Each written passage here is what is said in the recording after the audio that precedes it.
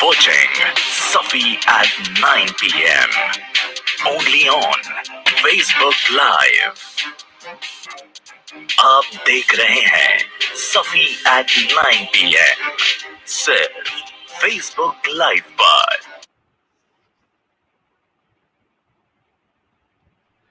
good evening and welcome to Safi at 9 PM इससे पहले कि आगे बढ़े और शो के बारे में और बातें करें let's have the guests uh, in our show first i am joined by and i'm honored and uh, it's indeed a privilege to have doc, uh, dr An- anish kumar maharaj professor school of mathematics statistics and computer science university of wazulu natal durban south africa और हमारे साथ हैं Vivek Wagh ji director centre for scientific learning Nagpur से sir आपका बहुत बहुत स्वागत है सफी एट नाइन पी पर and Anish ji, uh, you're also most welcome. Thanks for joining uh, the show. Thank you. And Namaste. this is going to be a bilingual show. And uh, एक बार और मैं viewers के लिए बता दूँ कि आज का जो शो है जैसा कि आपको पता है ये गणित पर है मैथमेटिक्स पर है और हमारा शो जो है ये नॉलेज बेस्ड शो है तो इस शो को देखने के लिए to watch this show you have to actually have a little patience थोड़ा सा दिमाग लगाना पड़ता है और बातों को ठीक से सुनना पड़ता है, तभी आपके ये शो समझ में आता है। और जो लोग इस शो को देखते हैं रेगुलर रूटीनली देखते आए हैं, उनको मालूम है कि कितना जो इसमें समझने की चीज़ें हैं there are things which you can take back home and you can actually use in your personal life so we move ahead with the show straight into the show but before that just let me tell you viewers if you have any question or comments you would like to put or ask the guests, please use the comment section. For that, आप अपने सवाल अगर आपके सवाल हैं तो आप comment section में लिख सकते हैं जो यहाँ हमारे गेस्ट तक पहुँच जाएँगे। और हम कोशिश करेंगे कि अपने इस शो को समय में समाप्त करें समय सीमा के भीतर समाप्त करें। अगर समय हुआ तो हम आपके सवाल लेंगे अगर आपके सवाल नहीं भी हैं तब भी आप शो से जुड़े रहें शो को देखें और बाद में भी इसको शेयर करें। So before we move ahead so एक बार फिर से मैं ये व्यूअर्स को बता दे रहा हूँ कि आज का शो जो है, वो मैथमेटिक्स पर है और मैथमेटिक्स की ज़रूरत या आवश्यकता हमारे जीवन में कितनी है या नहीं है मैथमेटिक्स को कैसे जो है हमें ग्रिप में लेना चाहिए अगर हम पढ़ना चाहते हैं। और इन सारी चीज़ों के साथ साथ do you enjoy maths or I you afraid of maths तो इस तरह के सारे सवाल हमारे साथ हैं। और ये शो सभी लोगों के लिए है जो गणित के बारे में जानना चाहते हैं। Whether you are a school student or you are in university or you have started your career and if you are still interested in knowing about maths, this show is for you. और उन सारे students के लिए भी जो maths में रुचि रखते हैं। So it's a bilingual show so please hold on there will be questions in Hindi and there will be questions in English and you will have responses in both the languages so with your permissions Anish ji and Vivek ji मैं show को आगे बढ़ा सकता हूँ? जी। जी। और जी। और आगे बढ़ने से पहले आई वुड जस्ट लाइक कि अगर आप अपने बारे में दर्शकों को एक if you may just say a few lines about आप क्या कर रहे हैं सो so दैट मेरी जानकारी हो सकती सीमित हो लेकिन आप अगर डायरेक्टली इंटरेक्ट करना चाहें तो आप दर्शकों से बात कर सकते हैं। Vivek ji and Anish Kumar ji. Right I go first okay ji sir. uh, मैं पिछले करीबन तीस बत्तीस साल से क्वालिटी ऑफ़ एजुकेशन कैसे इम्प्रूव की जा सकती है और मैथमेटिक्स में जो दिक्कतें आती हैं सीखने में उसको समझने में उसका जीवन से जोड़ करने में और उसको इंटरप्रेट करने में इस पर काम करते आया हूँ और लो कॉस्ट साइंस इक्विपमेंट बाकी के विषयों में भी किस तरह से लर्निंग डिफिकल्टीज क्यों आती है कहाँ आती है उसको ट्रीट कैसे किया जा सकता है? इस पर ज़्यादातर मेरा काम by training I am a mathematician ji. Anish Kumar ji if you may like to add about yourself in Durban in South Africa लेकिन अगर मैं आपसे हिंदी बोलूं तो शायद कष्ट होगा इसलिए you may please continue in समझ सके जी जी या okay I have been a mathematics teacher from 1983 I first taught uh, high school mathematics for grades 11 and 12 then I went to a teacher training college in uh, 1992 uh, to train mathematics teachers. I was there until 2002. In 2003, I was appointed at the, uh, the, the, University of Natal, Howard College. It's, this university is now a part of uh, the University of KwaZulu Natal. My interests are on the teaching and learning of mathematics, advanced mathematical thinking, APOS theory, the use of technology in the teaching and learning of mathematics.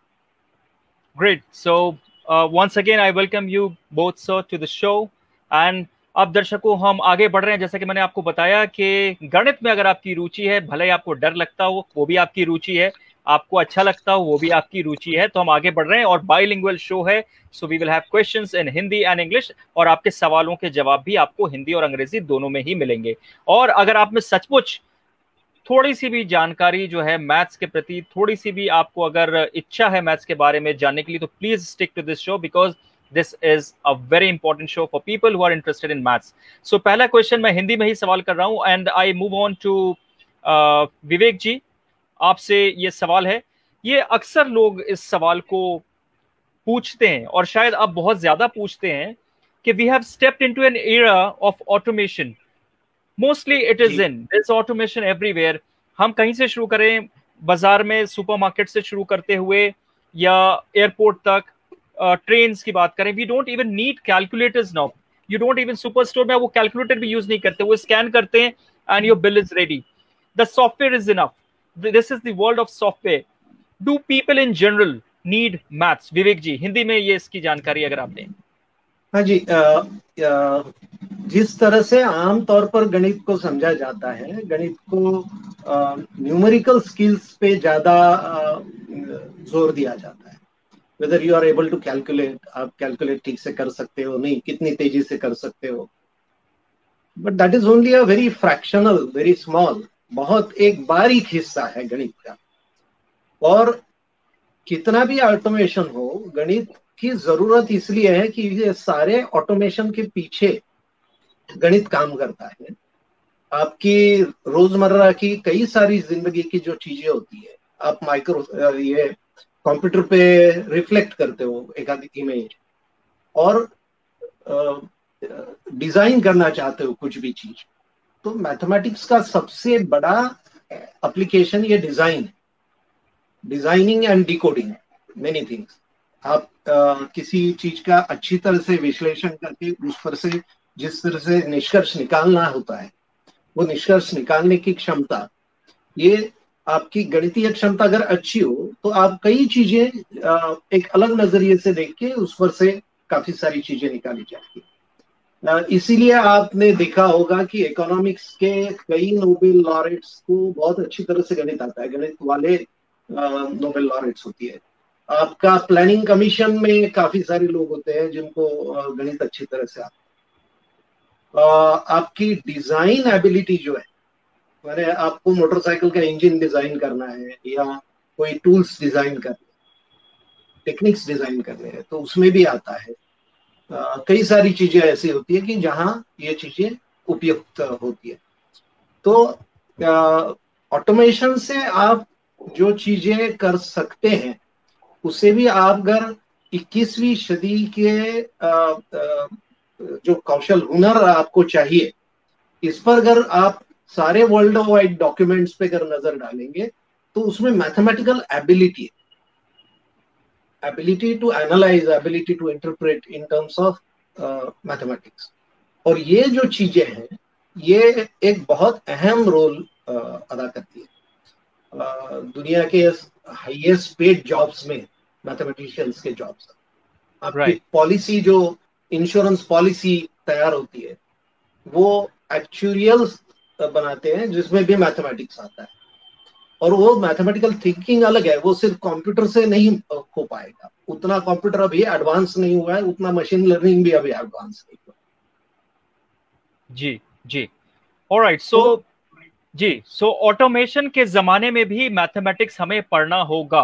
That is the bottom line आप कह रहे हैं। जी। क्योंकि गणितीय क्षमताओं का विकास आपका किसी चीज़ की तरफ़ गणितीय दृष्टिकोण से देखना ये ज़्यादा महत्वपूर्ण है। ये हालाँकि हमारे एजुकेशनल सिस्टम में कहीं आता नहीं है ठीक से, ढंग से नहीं आता है। किंतु मैथमेटिकल एबिलिटी जिसे हम कहते हैं, वो एक किसी जनरल चीज़ से एक्सट्रैक्ट करना इंफॉर्मेशन उसको गणित की भाषा में परिवर्तित करना, गणित के जो अलग अलग टूल्स है, उस टूल्स का इस्तेमाल करके उस पर से निष्कर्ष निकालना और उसको फिर से वर्ल्ड लैंग्वेज में ट्रांसलेट करना। ये प्रोसेस ज़्यादा महत्वपूर्ण है। और इस प्रोसेस को अगर अच्छी तरह से जाना गया और इस प्रोसेस पे थोड़ा कमांड मिलाने की कोशिश की कमांड मिलाई तो then that individual has a long way to go काफ़ी आपको उसमें कई क्षेत्रों में मदद होती है। ओके ग्रेट ठीक है।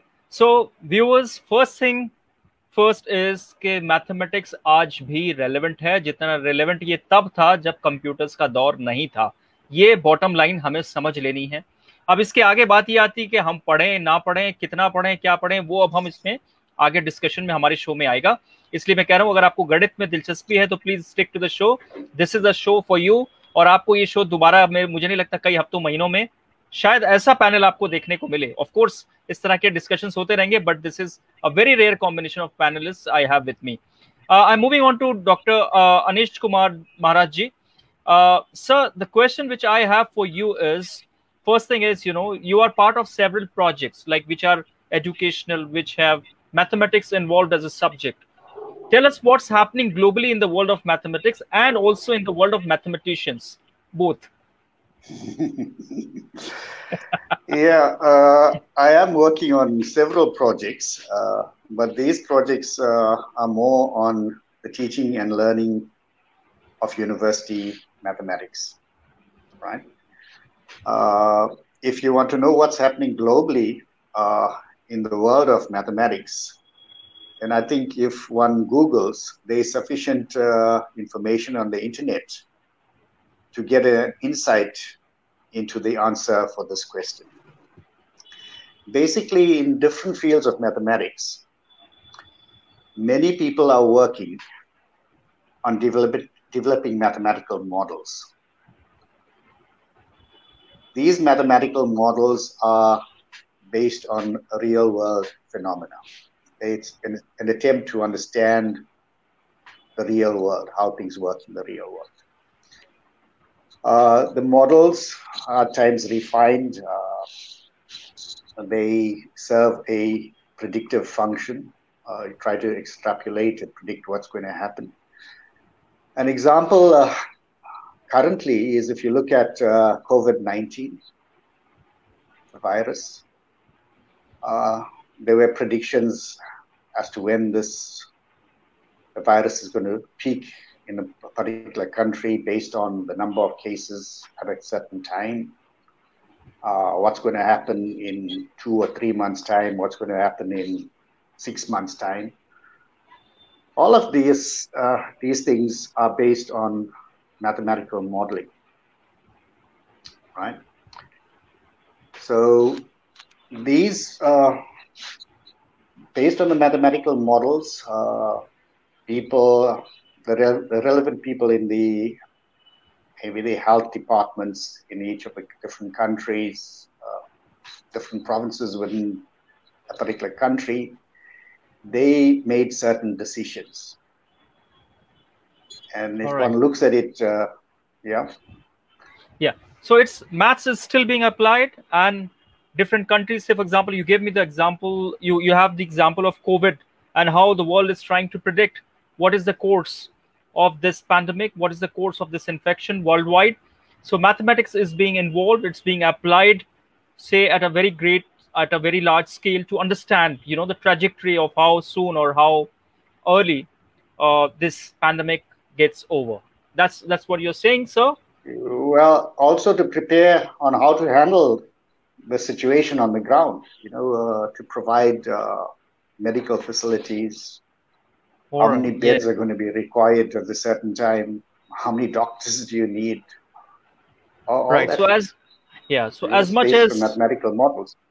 Right so mathematics involve है दर्शकों मैं आपके लिए हिंदी में बता दूँ कि देखिए इस वक्त जिस पैंडेमिक की सिचुएशन से हम गुजर रहे हैं इस वक्त ये जो गणित जानते हैं जो मैथमेटिक्स के मॉडल्स जिनको हम कहते हैं यानी एक तरह से आप समझ लिए एक थियोरेटिकल या गणित का एक ऐसा सिस्टम जिसमें हम इनपुट्स डालते हैं और इनपुट्स यानी हम उसमें अंक डालते हैं डेटा डालते हैं, और उसके आधार पर जो कैलकुलेशंस हैं, उनके आधार पर हम ये बता पाते हैं कि किस तरह से जो है, कितनी चीज़ों की आवश्यकता है, कहाँ है, इत्यादि। मतलब इस तरह का अगर मैं मॉडल को टूटी फूटी अपनी लेमेंस की भाषा में अगर कुछ रखूँ तो इस तरह की चीज़ें हैं, जिसमें आप डेटा डालते हैं, और वो जो मैथमेटिकल जो कैलकुलेशन है, वो आपको प्रिडिक्ट कर सकती हैं, बता सकती हैं, अनुमान दे सकती हैं कि किस तरह से हमें आगे बढ़ना चाहिए। और ये कोविड की एक ऐसी सिचुएशन है जिसमें मैथमेटिक्स का जो प्रयोग है या बहुत ज़्यादा जो इसकी ज़रूरत है वो हमें समझ में आती है। अगले सवाल की ओर बढ़ रहे हैं जो विवेक जी आपसे है और ये हिंदी में जवाब है ये इसका। लेना आपसे मुझे कि देखिए लोग जो है अलग अलग तरह से बड़े होते हैं। हर शहर में गाँव में आ, हर देश में। हमारे देश में भी देखिए इतना बड़ा देश है अलग अलग तरीके से लोग बड़े होते हैं। विद डिफरेंट ओरिएंटेशन जो बहुत यूनिक उनकी स्थितियाँ जो है बहुत यूनिक होती हैं। हम इसको जनरलाइज नहीं कर पाते जहाँ तक एजुकेशन का मामला है। तो और एजुकेशन का एक्सपोजर जो है वो भी अलग अलग तरीके का है। कोई बच्चा एक पर्टिकुलर सिस्टम में एजुकेट हो रहा है दूसरा किसी दूसरे में हो रहा है भाषाओं का अंतर है इसमें। गणित पढ़ने में भी अंतर है। किसी जगह एक तरीके से गणित पढ़ा रहे हैं दूसरी जगह हालाँकि सब गणित ही है लेकिन पढ़ाने के तरीका अलग है। जैसे आप पूरा गणित पर एजुकेशन पे आप एक बहुत बड़ा एक उस पर प्रोजेक्ट आपका है जिसपे आप आ, कैसे बच्चों को रुचि लाई जाए गणित में वो आप कर रहे हैं। लेकिन इसमें मैं ये जानना चाहता हूँ कि और ये स्कूल लेवल से मैं हाई स्कूल तक बढ़ रहा हूँ इसमें आप जैसे चाहे इसको देख सकते हैं कि कुछ स्टूडेंट्स को जो है गणित से सचमुच प्यार होता है जो मैंने प्रोग्राम में कहा कि कुछ तो मतलब निछावर होते हैं वो मैथ्स की किताब चार्ट डालते हैं छोड़ते नहीं है कि मतलब और एक्स्ट्रा मिल जाए एक दो किताबें तो उनको भी हम सॉल्व कर लें। और कुछ ऐसे होते हैं who do not like maths ऐसे भी बच्चे होते हैं there are kids who don't want to be a part of maths दे वो मतलब मैथ्स की किताब उठा के रख देते हैं. Is it normal not to like maths at all it is normal or not is a different question. Uh, क्या बात है कि जहाँ तक मेरी समझ का सवाल है किसी भी विषय की तरफ़ की हेट्रेड या भय, ये नॉर्मल नहीं है। हालाँकि सिनेरियो नॉर्मल किंतु आपको विषय का भय किसी भी लगना नहीं चाहिए। हाँ आपको एक हाथ विषय में ज़्यादा अभिरुचि हो, वो समझना ठीक है। कि ये कॉन्शियस डिसीज़न होना चाहिए कि मुझे ये ज़्यादा अच्छा लगता है, मैं इसमें काम करूँ। मुझे खेल में, कूद में ज़्यादा अच्छा करना है, पर मुझे किसी विषय से डर नहीं लगता। आज लेकिन हालात ऐसे हैं कि गणित का भय बहुत है। करीबन पचासी प्रतिशत लोग गणित से पीड़ित है, भयभीत है। इतनी स्थिति है। तो ये डर पैदा इसलिए होता है कि जैसे तो परंपरा से भी है। शिक्षक भी यही बोलते हैं देखो मैथमेटिक्स बहुत कठिन है।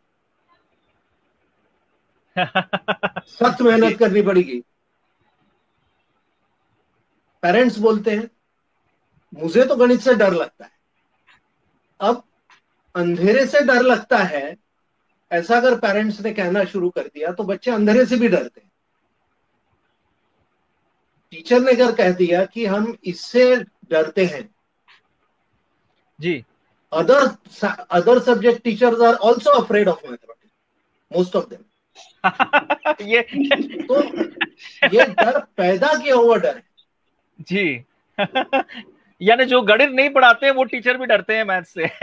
हाँ आमतौर पर डरते हैं। जी।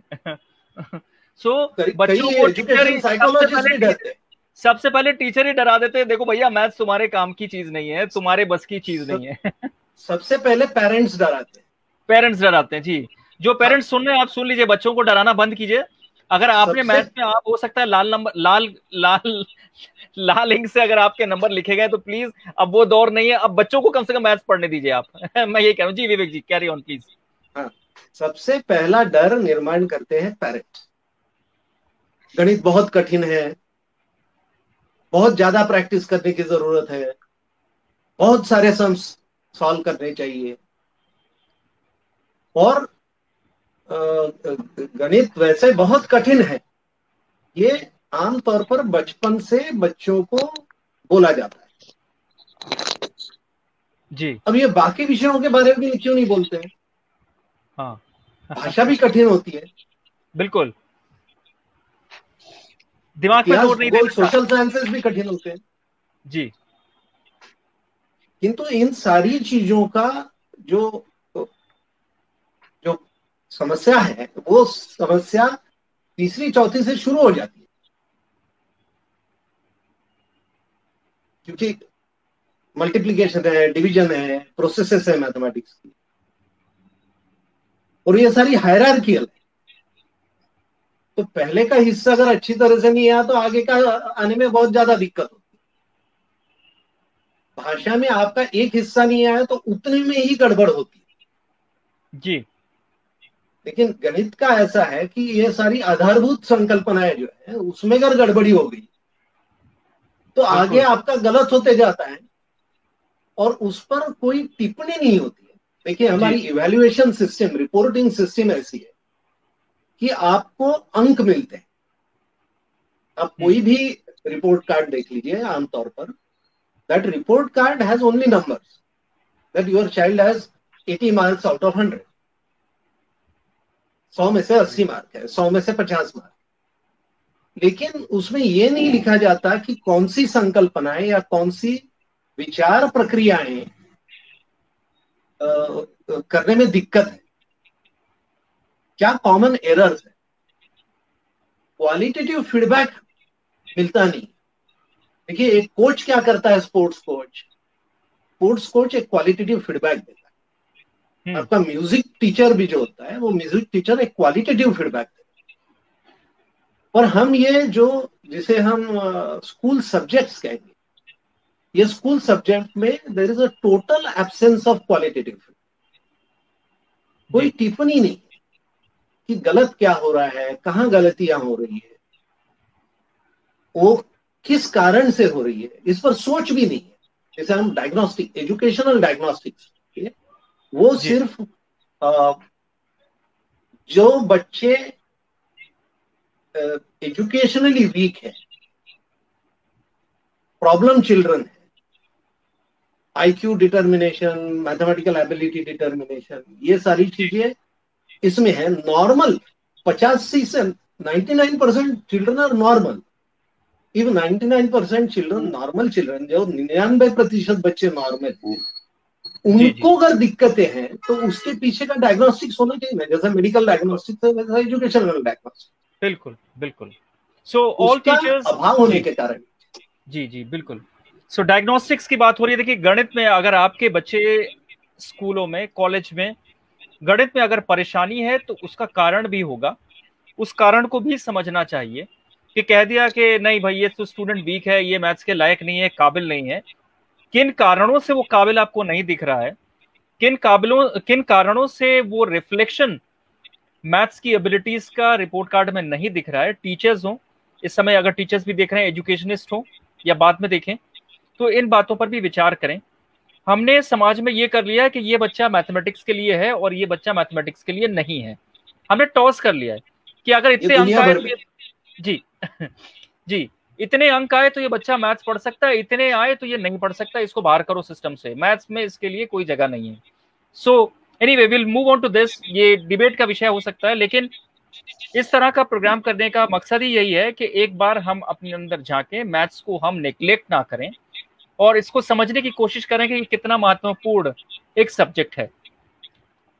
आई move on to अनिश्वर Anish Kumar ji. Sir has a question for you mental structures of action process object and schema. Apos apos this is a theory. Perhaps you're working on this and uh, you are also going to explain to us sir that the theory and how it is applied to teaching practice what it is how it came into existence and why is it important for you know uh, for teachers perhaps to understand this.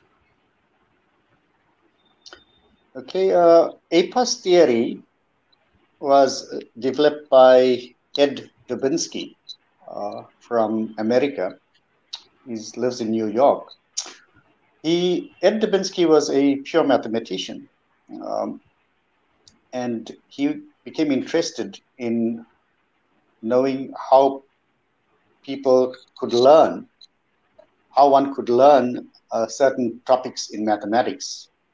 And he looked at this uh, from the point of view of a mathematician. APOS, uh, Action Process Object Schema, that's what it stands for. These are mental processes that need to be in place in order to learn a particular mathematics topic. For example, supposing you're dealing with y is equal to x squared. This is a graph, right? The, the graph defined by y is equal to x squared. The function defined by y is equal to x squared. Right. Uh, at an action level, one would physically put in inputs for X and find what the output is for Y, work it out. Uh, there'll be physical evidence of a person working this out. And then the person will come up with the ordered pairs that lie on the graph from the inputs and corresponding outputs. And the person will plot this on Cartesian plane and then draw the graph at a process level, this happens in the mind, right? We know if you put in what the input is, you get what the output is. Right, sir. And you can figure out mentally what the ordered pairs are. And you can, what we need to do after that is plot them on the Cartesian plane and you'll get the graph. Like precisely so speaking, a, equations uh, we are we are taught is you know y is equal to mx plus c then you have ax squared plus bx plus c is equal to zero the quadratic the yeah mm. so that is that is how a kid understands maths actually yes yeah now, now you have one behind it yes if your one is working at the say the object level if the mental construction is at the object level then you look at y is equal to x squared this defines a parabola the coefficient of x squared is 1 It's positive, so the arms will be pointing upwards. The turning point here is going to lie on the at the origin. The y-axis is going to be the axis of symmetry. Right. That is like you're, you're conceptualizing of the object y is equal to x squared, and you're picturizing, uh, you know, visually what it uh, represents without doing working. But for this to happen, uh, the schema has to be in place. The schema is like a framework for thinking, right? Okay. And understanding things. Uh, this has to be well connected. All your actions, processes, objects. It has to be like it's like a mind map that guides okay. you, you know, what you should be doing. Right now, uh, I tried to explain very simply, you know, uh, what the mental constructions are. Your next part was uh, the theory and how it is applied in teaching practice. Yes. What what one does is you first uh, figure out what the genetic decomposition is for a particular topic or concept. The genetic decomposition is to really pinpoint what the APOS is. What APOS needs to be in place for a particular concept in order for students to understand the concept. Okay. So that's the genetic decomposition. It depends on the person's expertise in uh, knowing the content. Knowing the content is one thing. Pinpointing the APOS so that someone else can understand that concept, that's another skill. Okay. So once you put, uh, do the genetic decomposition, then you design your learning activities. You need to picturize this as the vertices of a triangle. The genetic decomposition The next vertex is the design of your learning materials using Okay. that genetic decomposition. And then you're going to look at the anal- analysis, the third vertex, the analysis of the data. That is influenced by the design of your learning material and also your genetic decomposition. That's how you're going to analyze the data. So, uh, in a layman's uh, language, sir, if I may uh, just point out if I am if I'm not getting it correctly, it's Mm. it's that it's it's a theory which helps us assess or understand how mathematics is understood when taught. You know, to students, how students Well, take it, uh, how well, students it- take mathematics. what And we, then- what we want to do is uh, the person that's teaching uh, mathematics knows the mathematics, right? We're assuming that, right? But how are you going to put it across so that students understand what is being Okay. taught? okay so it's Right. first is to to to for the teacher to know exactly that this is what i'm going to teach and how best i can teach this particular particular concept to the student and how i design my you know design my presentation in a sense that students get the concept clearly. Is is it am i getting it Yeah. close am i getting closer to what you're saying? Yes, A- A- APOS theory has been used uh, in uh, mathematics education now to do research on the teaching and learning of undergraduate mathematics. Uh, I know there are people also working in school mathematics.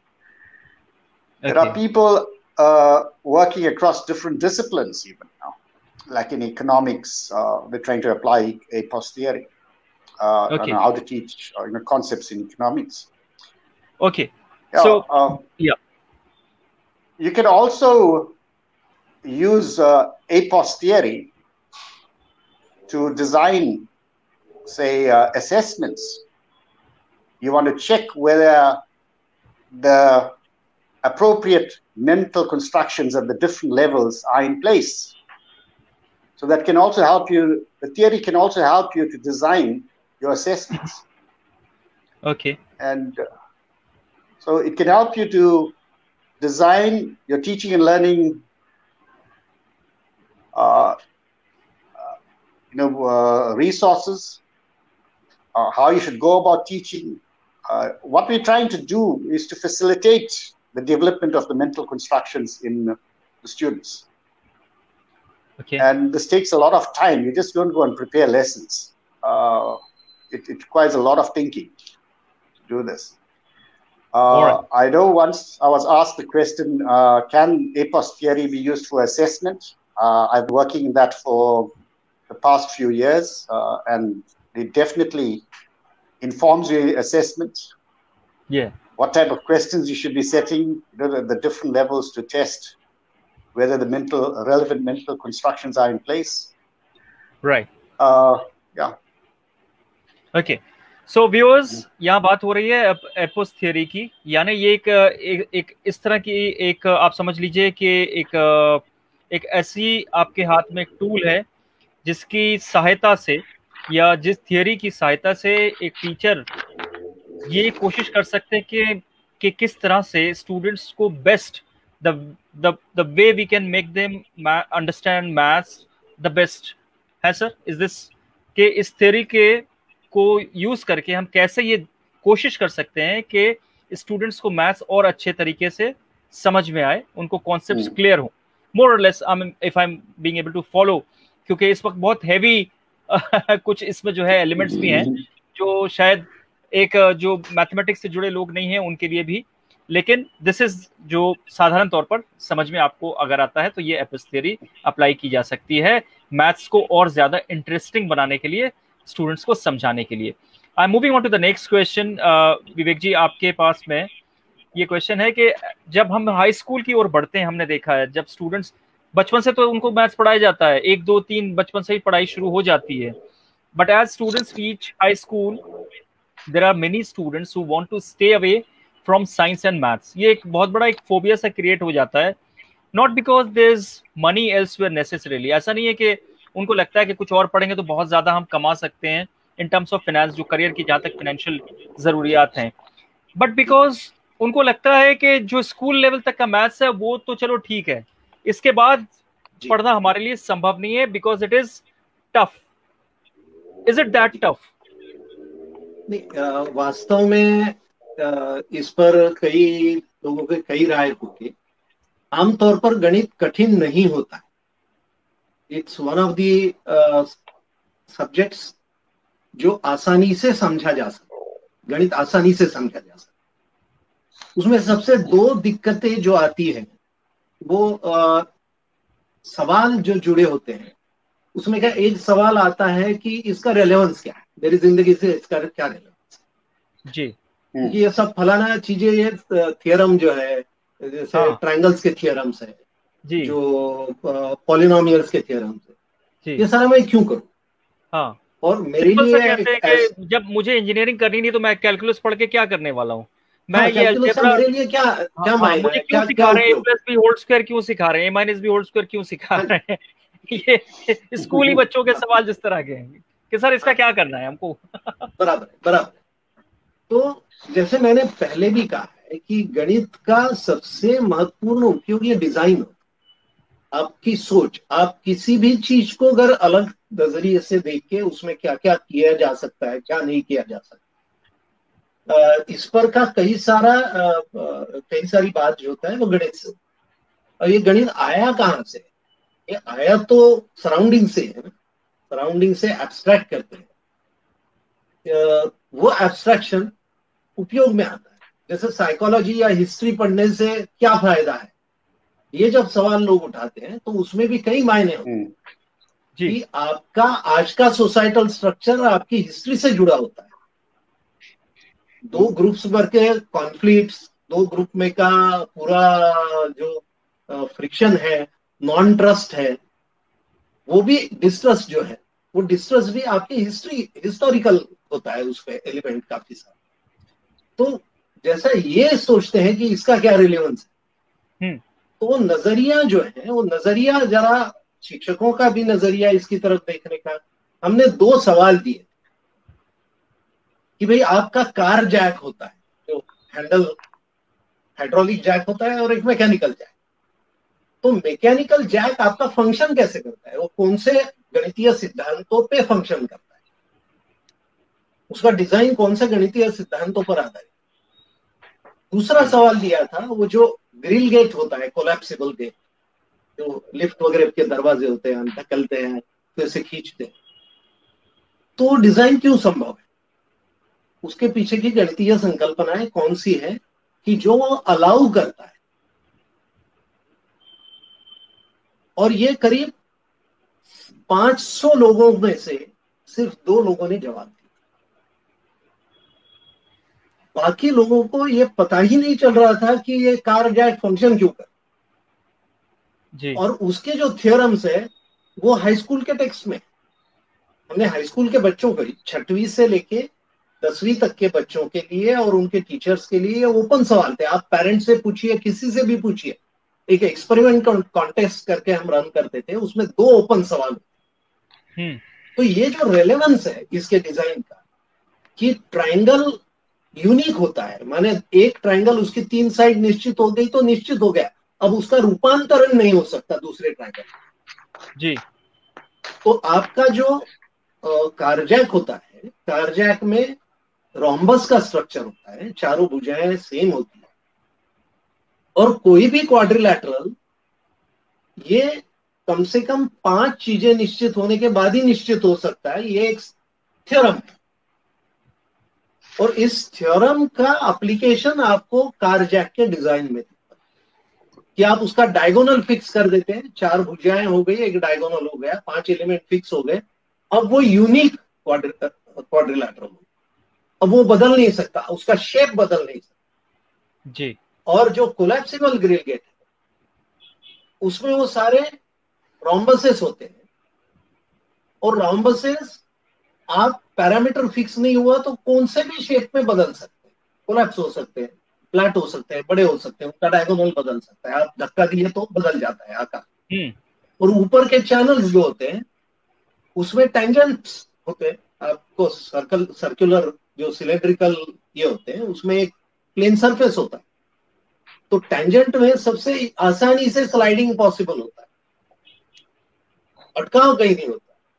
तो ये जो चीज़ें हैं देखने का नज़रिया ये सारे जो आपके बेसिक थियरम्स है ग्यारहवीं बारहवीं का मैथमेटिक्स आपके कई सारी चीज़ों में कंप्यूटर साइंस में तो बहुत ज़्यादा उपयोगी है। जी। इकोनॉमिक्स में बहुत उपयोगी पॉलिसी डिज़ाइन में उपयोगी कई सारी चीज़ों में। दूसरा जो दिक्कत आती है वो दिक्कत है आपकी मैथमेटिकल बेस बहुत कमज़ोर होने से। और ये बेस का रिमेडियल ट्रेनिंग जो होता है रिमेडियल इंटीग्रेशन नहीं होता है। मैंने प्रॉब्लम्स का सिलेक्शन जो होता है वो प्रॉब्लम्स का सिलेक्शन टेक्स्ट बुक में भी गलत ढंग का है कि उसमें पहले का हिस्सा प्रैक्टिस हो दोबारा उस पर काम करने का मौका मिले इस तरह से नहीं। तो दो are design faults of curriculum textbook design जी जी। सो टेक्स्ट बुक में भी आप कह रहे हैं कि टेक्स्ट बुक को भी बदलने की ज़रूरत है जिस तरह से चैप्टर्स को स्ट्रक्चर किया जाता है। देखिए दर्शकों यहाँ एक और पॉइंट है कि मैथ्स के कई कारण सेट जी, जी कई कारण हो सकते हैं सेट होता है। जी। कि स्टूडेंट्स को अगर मैथ समझने में दिक्कत होती है तो उसमें एक जो है टेक्स्ट बुक भी उसका कारण हो सकती है। टेक्स्ट बुक का डिज़ाइन अगर कहें तो वो भी एक कारण हो सकता है कि मैथ्स क्यों नहीं समझ में आ रहा है। तो ये सारी चीज़ें जो है देखिए एक एक चीज़ें आपके सामने यहाँ इस शो पर आ रही हैं। आप इन चीज़ों को ध्यान दें। किस तरह से इम्प्रूवमेंट लाई जा सकती है मैथ्स पढ़ने में पढ़ाने में और उसमें इंटरेस्ट लाने में। Anish ji I am moving to you now with the next question और ये सवाल मैं हिंदी में एक बार पहले कर ही देता हूँ क्योंकि इसमें शायद जो है ना एक ग्लोबल रुचि इंटरेस्ट है इस सवाल में। और लोग इससे काफ़ी इंटरेस्टेड हैं इस सवाल के बारे में, जानना चाहते हैं कि how we are using technology for promoting teaching and learning of mathematics है? विवेक जी भी देखिए, इस पर मुस्कुरा रहे हैं। ये एक, ये अपने आप में एक बहुत बड़ा ट्रेड ऑफ़ जैसी सिचुएशन भी है कि क्या हम टेक्नोलॉजी के माध्यम से मैथ सिखाएँ या मैथ जैसे पढ़ते आए हैं टेक्नोलॉजी को बाहर रखकर सिखाएँ। But then it's a it's a it's also a challenge for uh, you know people who are actually designing courses for students so uh, Anishji, this is a question for you. Your research also involves using technology for promoting teaching and learning of mathematics. So, if you can just share what exactly is happening and how much is technology suitable a tool or how much technology should be involved in teaching a subject like mathematics? Hmm. Well, your previous question was on APOS theory. Uh, that's a field I used to work on uh, until around uh, 2011. In 2011, I was invited to the HP Global Catalyst Summit, which took place in New Delhi, in India. And it was at that summit I realized that the problems in the teaching and learning of mathematics are common throughout the world. And I also realized that we cannot solve this problem without the use of technology. Uh, when I went in sabbatical, I worked with Vivek on uh, diagnostics. Well, that's when uh, around, I think it was 2012, Vivek, or 2013? I think 2012. Yeah. you know, we started uh, looking at, you know, what can be done to help the students. Uh, we can't teach the students that we want to would like to teach.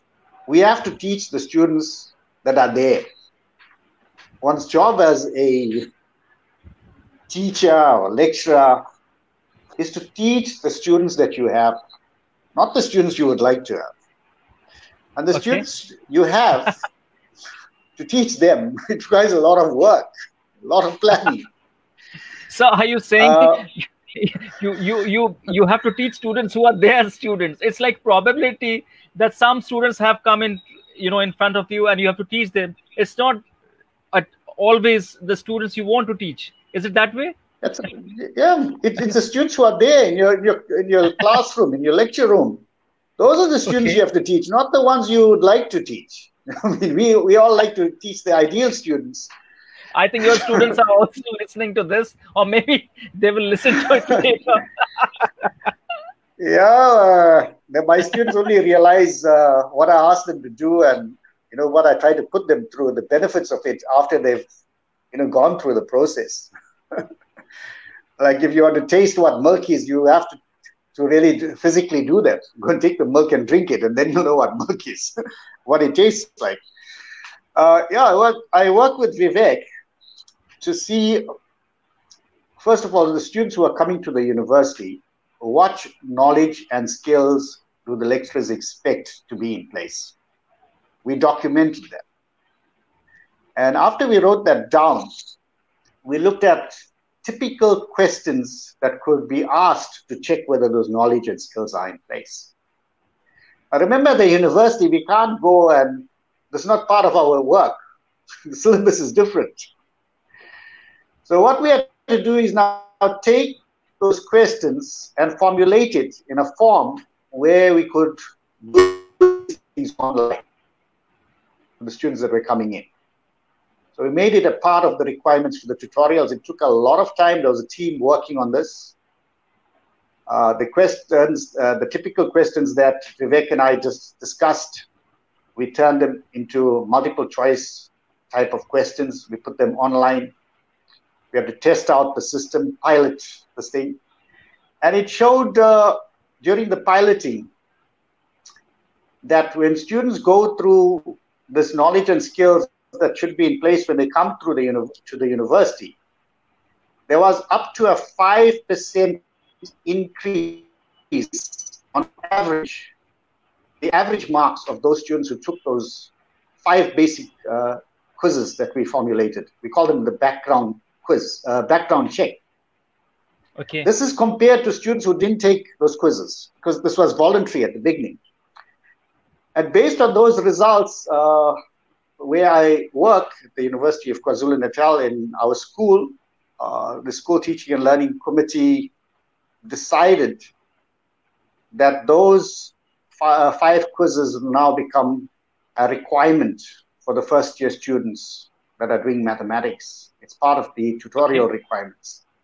Okay. And normally, was that, was that a filtering process? Those tests that you devised or designed did they become the filtering no. process to admit students no, no. or just to assess no students? no no no no these, these students were already uh, uh, taking different modules uh, for to study mathematics up to say second third year level some of the students were doing commerce for the bcom degree okay. others were engineering students right uh, the feedback we got to design these things is we ask the lecturers to look at the examination papers and pinpoint what they expected to be in place from school, but was not in place, so that it resulted in the student not being able to answer the questions. The basic skills and knowledge. So we first put that in place, and the uh, research showed that it was making a difference. Right, the on average the performances were better if students took those uh, quizzes. Right. Then for the in-course co- content, the content that they're supposed to be learning in school, uh, with subsequent visits uh, to Vivek's place in Nagpur, we again did the same process. What are the outcomes we wanted for uh, the calculus course, the integral calculus course, and we documented that and we again designed typical questions. We went through the same process. We found that that was also making a difference. And based on the research, the again the teaching and learning committee in our school decided that these should become part of the summative assessments for the students. Okay. So the lecture, the lecturers who take the modules now use this every year. Um, they give it a weighting towards the class mark. Okay. Uh, depending on how they implement it. Right. But our results have improved uh, for those uh, first year mathematics modules. Right. Right. Okay Vivek ji perhaps you want to add something to what Anish ji जो बता रहे हैं हाँ, और इसमें technology वाला जो part है वो भी जरा सा मुझे बताइए कि इसमें जी। उसमें सबसे पहले तो ये फिल्टरिंग के लिए नहीं यूज़ किया गया। अच्छा। ये यूज़ किया गया था पढ़ाई में इम्प्रूव होने के लिए। अच्छा। कि आपको एक जिसे हेल्पिंग हैंड कहेंगे कि बैकग्राउंड आपको पता नहीं होता है कि क्या गलत हो रहा है मेरा। कोई बताता भी नहीं है।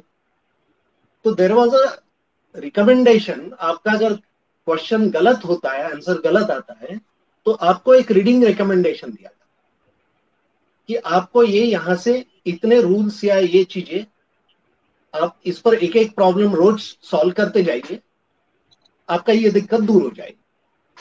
That type of thing so it was a diagnostic and remedial platform right so जी और इसमें टेक्नोलॉजी का जो प्रयोग है वो कैसे कहाँ क्या किया था अगर हम कहें तो Yeah. Uh, this was based on, yeah, I think Anish, you should answer. Uh, yeah, okay. I this we set this up on uh, the Moodle platform, right? Okay. This is open source. So the beauty of it is that students could work on it on campus and also off campus the, on their own time, during their own time.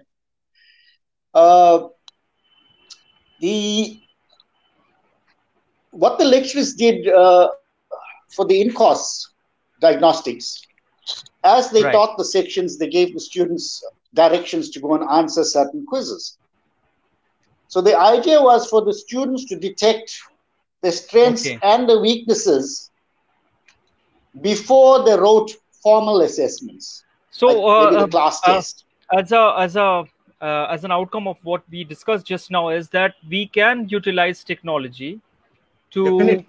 to help students yeah, grab yeah. mathematics better than what we usually have you know instead of the classroom format teaching that that we have if we if we put mm. a bit of technology into the entire teaching mechanism perhaps we can have a better way of teaching students especially mathematics if, All right. if you look at it currently during the lockdown people had to go online and I, right. I know there's certain people who believe you can't teach online, but we yes. had to do it. Right? We yeah. had to go and video record the lectures, put the lectures up. The students had to go and watch the lectures, rewind, check what they didn't understand. Right. Look at the I'll come back to this question. PDF I'll come back to this question. Lecture. I'm taking a cue from your discussion, sir, online or offline. I'll ask you that towards the end of this show. Both of you, I'll ask the same question because that's an important question to which people are looking uh, are trying to find answers of. There's a debate. It's the biggest debate perhaps we have had yes. in the last three four months. विवेक जी आपके पास मैं आ रहा हूँ ये सवाल आपके लिए है कि हम मैथमेटिकल स्किल्स और ये सिर्फ़ सब्जेक्ट की दृष्टि से नहीं mathematics not as a not as a subject but as a skill set और as skill as students as and as teachers हम कैसे अक्वायर कर सकते हैं यानी ये स्कूल करिकुलम के बाहर भी क्या संभावनाएँ हैं? यानी मान लीजिए किसी को सडनली अब रियलाइज़ हुआ। टीचर्स और स्टूडेंट्स के बारे में तो आप मुझे बताइए कि कैसे और बेहतर बने। टेक्स्ट बुक के बाहर का मैथमेटिक्स कैसे सीख सकते हैं? और इन जनरल अगर लोगों को लगता है एक सडनली लगा कि नहीं अब हमें मैथ्स हो सकता है प्रोग्राम देखने के बाद लगे कि नहीं मुझे मैथ्स थोड़ा बहुत करना चाहिए कुछ मैथमेटिकल स्किल्स मुझे लेने चाहिए। सो so, किस तरह से ये अक्वायर किए जा सकते हैं मैथमेटिकल स्किल्स देखिए मैथमेटिकल स्किल्स होते क्या है? ये सबसे पहला सवाल। कि आमतौर पर मैथमेटिकल स्किल्स ये आप कितनी तेज़ी से कैलकुलेट कर सकते हैं? या आ, आप एक इंटीग्रल फास्ट सॉल्व कर सकते हैं या नहीं कर सकते हैं? ये ज़्यादातर मैथमेटिकल स्किल्स करके लिया जाता है। हालाँकि ऐसा नहीं। आ, हम मैथमेटिकल स्किल्स के लिए मैं एक आसान सा सवाल कई बार पूछता हूँ कि दो तीन पाँच और सात ये चार नंबर्स दिए। जी। और आंसर दिया है ट्वेंटी फोर जी। ठीक है चौबीस आंसर अब आपको you have to use it each number exactly once दो भी एक बार आना चाहिए तीन भी एक बार आना चाहिए पाँच भी एक बार आना चाहिए सात भी एक बार आना चाहिए और आंसर चौबीस आना। जी। तो आपको ability to see various rearrangements जो है अलग अलग तरीके से आप उसे कैसे हल निकाल सकते हैं इसकी प्रक्रिया जो होती है वो देखी जा सकती है। और इसमें कई बार सोचने का जो तरीका होता है वो भी ध्यान में आता है। Right right. कई सारे लोग शुरुआती तौर पर जो सवाल मन में उठाते हैं वो आमतौर पर होता है इसका हल क्या होगा? Start with question what is the answer to this अब ये एक गलत सवाल है उठाने का। आपको जो सवाल मन में आते उस पर आपका प्रोग्रेस निर्भर करता है। आप ऑब्ज़र्व क्या करते हैं? कि दो तीन पाँच सात ये चार नंबर मेरे पास है। हम्म। तो दो और सात मिला के नौ होता है। ये एक ऑब्जर्वेशन है। अब ये दो नवंबर मिला के नौ होता है तो चौबीस और नौ का रिश्ता क्या है? कि चौबीस में से नौ अगर मैंने घटाए या तो मुझे पंद्रह जोड़ने पड़ेंगे चौबीस में लाने। नौ में पंद्रह जोड़ने पड़ेंगे तो मुझे चौबीस।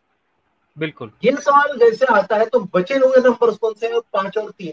तो मेरे दिमाग में ये सवाल मैं पूछ सकता हूँ कि इनसे मुझे पंद्रह मिल सकता है। तो फाइव थ्री आर फिफ्टीन तीन गुना पाँच पंद्रह होता है। पंद्रह और नौ मिला के चौबीस में। ये एक हल है। तो ये जो पहला सवाल बच्चों के मन में या शिक्षकों के मन में या कोई भी सॉल्वर होता है प्रॉब्लम सॉल्वर के मन में जो जिस तरह के सवाल उठते हैं वो ज़्यादा इंपॉर्टेंट होते तो ये सवाल ठीक से आने की जो प्रोसेस है वो मैथमेटिकल थी जी।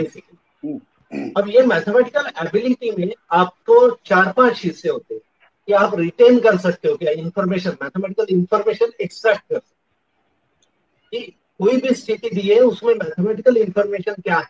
ये आप देख सकते हो। Okay okay. फिर मैथमेटिकल इंफॉर्मेशन आप रिटेन कर सकते हो। अलग अलग ढंग की।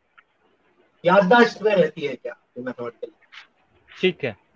फिर तीसरी जो एबिलिटी है मैथमेटिकल एबिलिटी वो आप इस मैथमेटिकल रिलेशनशिप के इसके अलग अलग रिलेशनशिप क्या है? ये देख सकते हैं। वो आपके दिमाग में है। ठीक है। और चौथा ये प्रॉब्लम सॉल्विंग प्रोसेस कि कौन से सवाल उठाने चाहिए होते हैं। उसकी आपको जानकारी है। ठीक है। और ये चारों चीज़ें कभी भी ज़िंदगी में सीखी जा सकती कि एक किताब में से मैथमेटिकल इंफॉर्मेशन इसमें क्या है? आमतौर पर डेफिनेशन होती है और थियरम्स होती है। तो एक टेक्स्ट बुक में चैप्टर में कितनी डेफिनेशन है? और कितने थियरम्स है? ये भी ना टीचर को पता होता है ना स्टूडेंट को पता so lack of correct assessment of information भी नहीं जी विवेक जी इसको एक बार फिर से one two three four people who may have missed it एक बार अगर आप रिकॉल करवा दें। वन टू थ्री फोर जो सबसे पहले मैथमेटिकल इंफॉर्मेशन लोकेट करके आना किसी भी चीज़। ठीक है।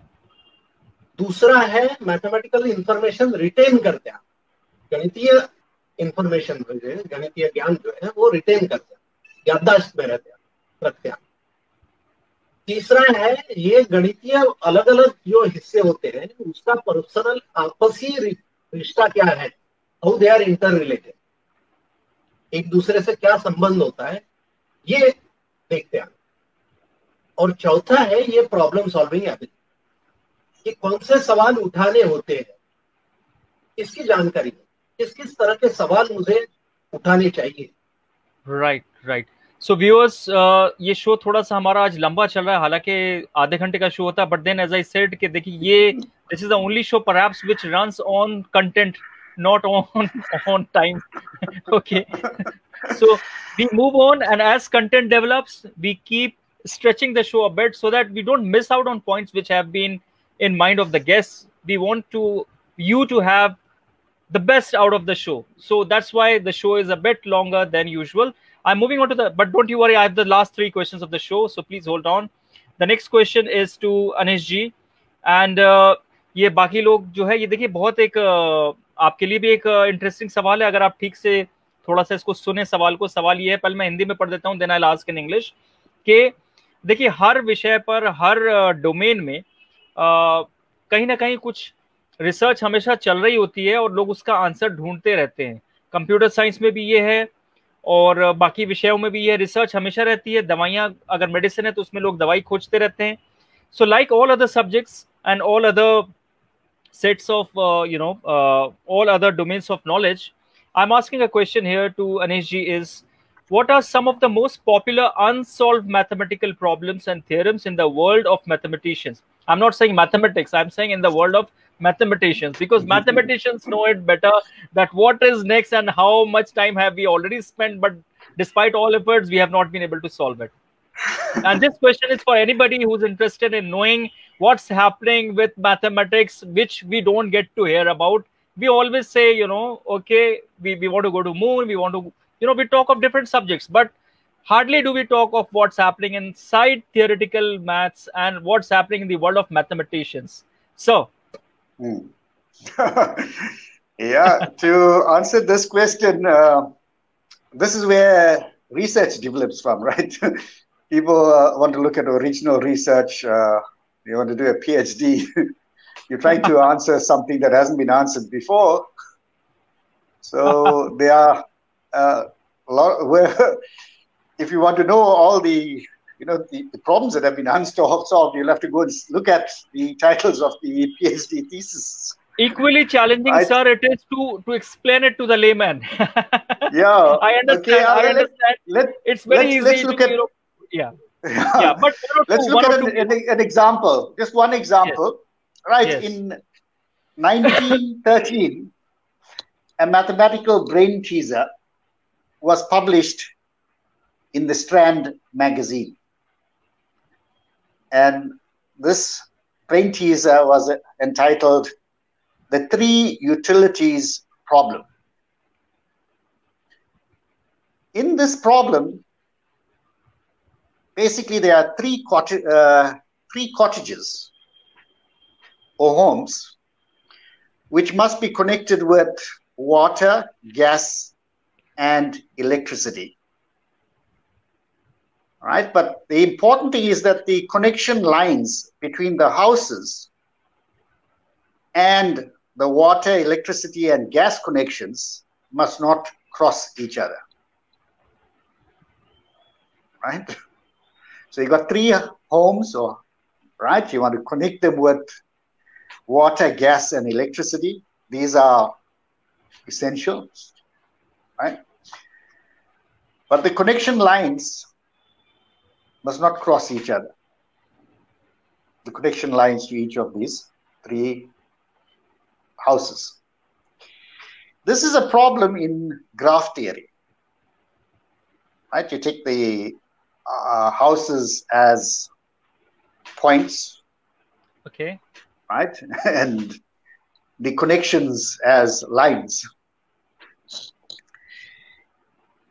The problem is about how to connect a number of points in a graph without allowing the lines connecting them to cross. And how, with math, uh, mathematic, uh, mathematical algorithm or calculation, you can make changes to an extensive graph network to ensure that no lines intersect without having to start all over again. I think it's beyond me. I surrender, sir. You give me zero, I'm out of this. uh, well, I think we know what the basic problem is, right? Uh, connecting the three homes which need to be connected with gas, water, and electricity, but we don't want yeah. the connection lines to intersect, right? We right. must not cross right. each other. Right, right. Now, these properties can be used for, amongst other things, you know, the from graph theory as you try to work out the problem.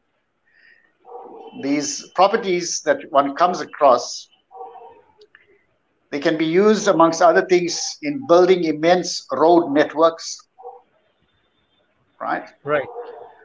Or tiny innards of computers where electrical circuitry on circuit boards may not cross.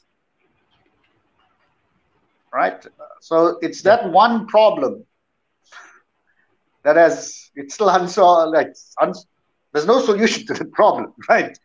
But they when people try to solve the problem, working with graph theory, you're able to come across other properties that will help you to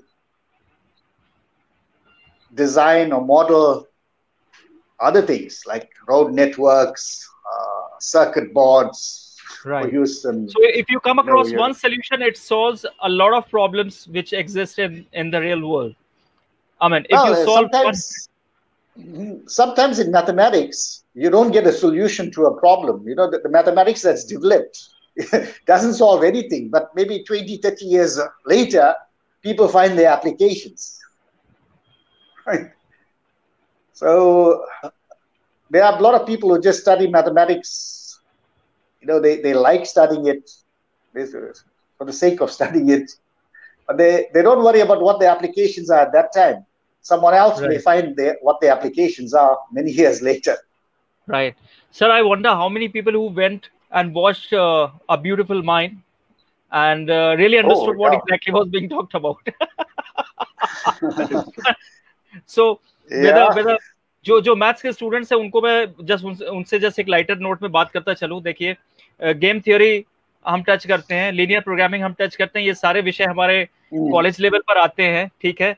अब उस पर घूम फिर करके वही सवाल आता है कि देखिए अगर आप इसको एप्लीकेशन में नहीं लेते हैं वेन यू मूव ऑन जब आप बिज़नेस पढ़ रहे होते हैं फाइनेंस पढ़ रहे होते हैं बैंकिंग पढ़ रहे होते हैं ये सारे जो मैथमेटिकल मॉडल्स जो हमने कॉलेज लेवल पर पढ़े होते हैं कहीं ना कहीं ये इसका एप्लीकेशन ज़रूर आता है। Coming back to the first question जो ऑटोमेशन की हम बात कर रहे थे जिसपे विवेक जी भी कह रहे थे कि जितना भी कर लीजिए आपको बेसिक्स तो आपको मालूम होने चाहिए क्योंकि कहीं ना कहीं इसका एप्लीकेशन है। So we move on time क्योंकि हमारे पास समय बहुत कम है। सो so, एक चीज़ और है कि जो लोग मैथ्स में आ रहे हैं घबराइए मत आपके लिए बहुत सारी अनसॉल्व जो है ना मैथमेटिकल प्रॉब्लम्स पड़ी हुई हैं। आप अपनी पूरी ज़िंदगी उसमें लगा सकते हैं और अच्छे अच्छे उसके जो है आउटकम्स के लिए है आप मैथ्स में बहुत कुछ है करने को। That is what I am understanding बहुत कुछ है। uh, विवेक जी आपके लिए क्वेश्चन एक ये है and these are the last two questions I have in the show उसके बाद एक क्वेश्चन अनिश जी के लिए है।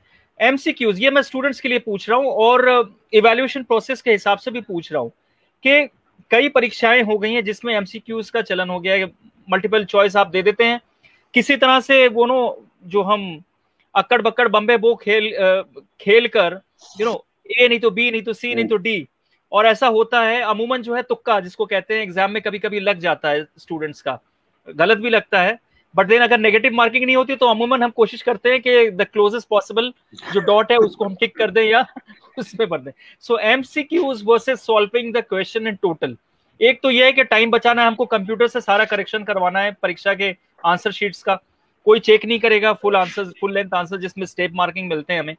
तो MCQs versus solving the question in total इनमें से कौन सी अप्रोच आपको लगता है is a better approach in understanding about a candidate जो मैथ्स का किसी भी तरह का वो हो सकता है फिल्टरिंग प्रोसेस है, वो करियर के लिए है, कोई जॉब के लिए है, अगर वो मल्टीपल चॉइस क्वेश्चन उसको अटेम्प्ट करवाना चाहिए या उसको फुल जो है हमें आंसर्स करवाने चाहिए। गिवन द फैक्ट कि हमारे पास रिसोर्सेज हैं, हम बैठ के आंसर शीट चेक कर सकते हैं।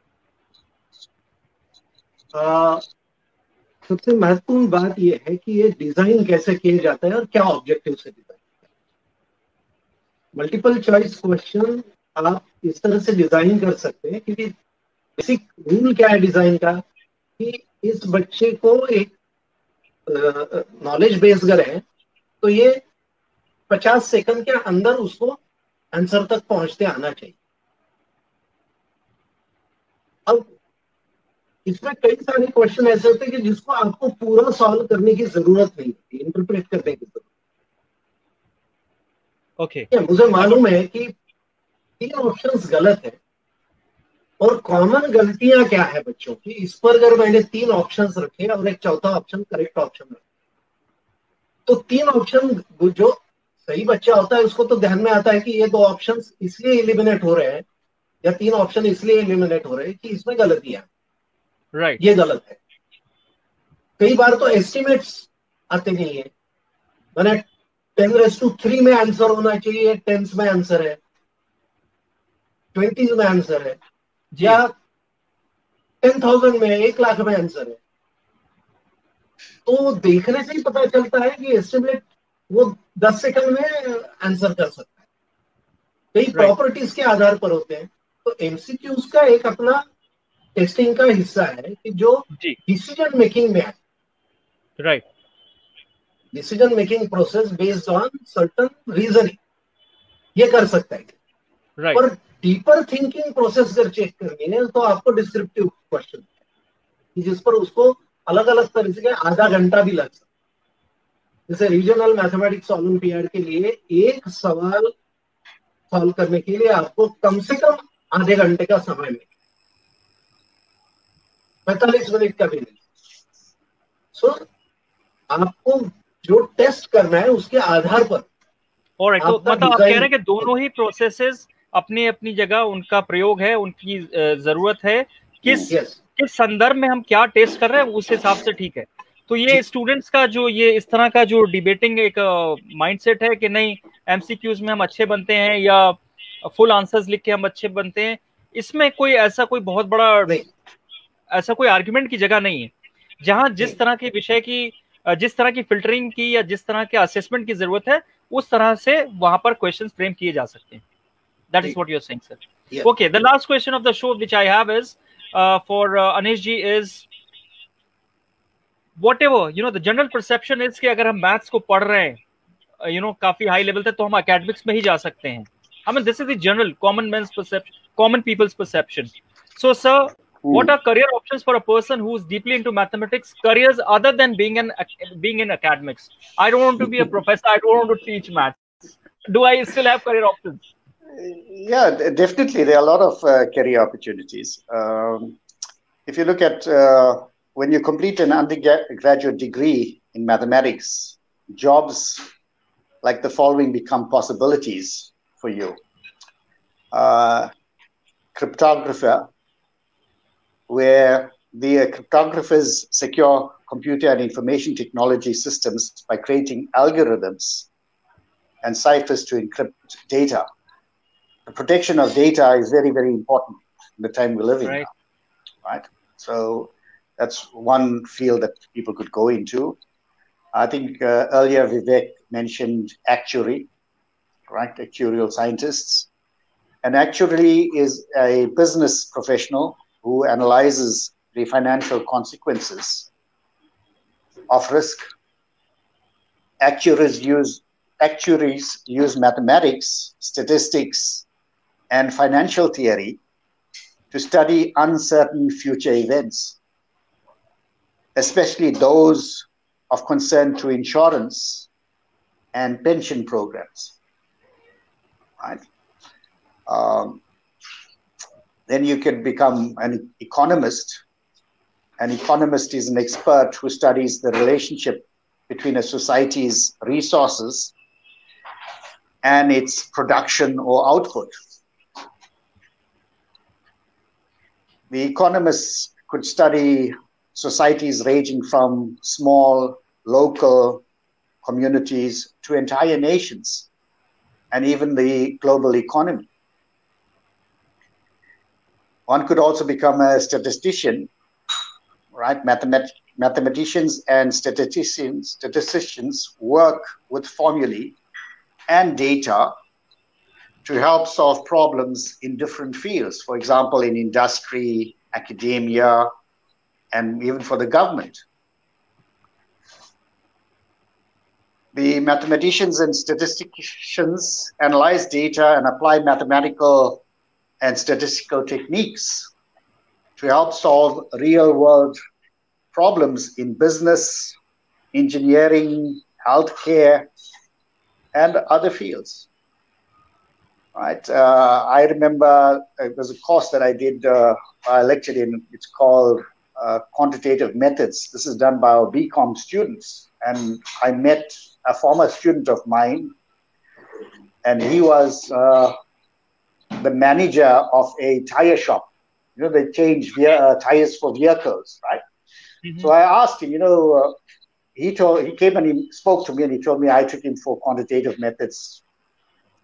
I was his lecturer. So I asked him, uh, does this, does the uh, what you learned in the quantitative methods did it help you in any way in your job? And he told me yes, because it helps him to plan uh, how he should be running his tire shop. He sees a lot of uh, you know uh, applications. Right, right. So I think it's important that we get people like that from uh, you know the work environments to come in to our classes and to talk to our students how what they are learning helps to make decisions in the actual work situations. You know, one could also become a financial planner, right? A financial planner is a professional who helps companies and individuals to create a program to meet long term financial goals. Operations research analyst identify and solve problems in areas such as business, logistics, healthcare, and other fields. Use statistical analysis, simulations, predictive modeling, or other methods to analyze information and right. develop practical solutions to business problems. Okay, these are some of the fields they one could also become an investment analyst. Some like these are a lot of uh, lot of career options. only if, only if people actually realize that yes, there is something you know in the world of maths, and you just don't you don't you just don't have to keep solving you know theory problems theory. You have problems are plenty in the open, and you can just pick and actually solve a lot of problems in the world. So it's been a hmm. long show, दस बजकर सत्रह minute और uh, ये अपने समय से कहीं ज़्यादा जो है आई थिंक मैथमेटिकली ये अगर इसको ग्राफ पे करेंगे तो it will be the odd one out on when we take the average of all the shows but thanks again it's been wonderful Vivek ji Anish ji thank you so much for for being on the show और maths जैसे uh, जिस तरह से आपने समझाने की बताने की कोशिश की I think this is going to stay with people for long and this show is going to be there on the wall Uh, and people can again come back and watch it if they have not been able to watch the full show because it's been a long show. Uh, but then again, I think there's not even one question that we can actually uh, miss out. Uh, Vivek ji बहुत बहुत धन्यवाद आपका आप नागपुर से जुड़े Anish ji thank you so much you joined us from Durban and uh, it's it's really been an honor and pleasure to have both of you here on my show. Thank you so much. Thank you. Thank you. नमस्कार so viewers थोड़ा सा लंबा show रहा लेकिन देखिए गणित से जुड़े जो भी सवाल आपके मन में है वो इस शो में आपको मुझे लगता है कि काफ़ी सारे आंसर्स हैं जो आपको मिल जाएँगे। अगर आपने पूरा नहीं देखा है आप बाद में इसको रिकॉर्डिंग जो है इस पर फेसबुक पर देख सकते हैं। और इसके अलावा ये शो जो है कुछ देर बाद जो है यूट्यूब पर भी अवेलेबल होगा जिसके लिंक जो है मैं आपको इसी बॉक्स के साथ आपको यहाँ पर मैं अटैच कर दूँगा। You can also watch the show on YouTube later sphere time PM में आज के लिए इतना ही। Thanks for watching good night